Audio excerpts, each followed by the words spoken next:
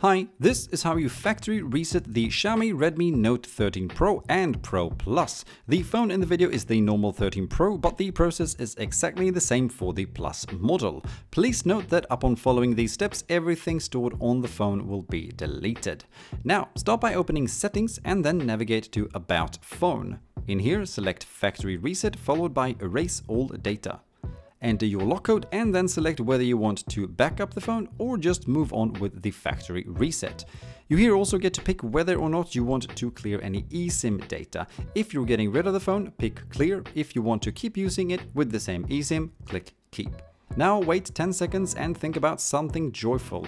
Press next and then wait another joyful 10 seconds before you can finally click OK to start the actual reset process. For whatever reason, this actually takes a few minutes to complete here, after which you are then presented with the startup screen. If you want to keep using the phone, just go through the setup process from here, or if you're selling or getting rid of the phone, turn it off. To do this, just press the power button and the volume up button simultaneously and then select power off.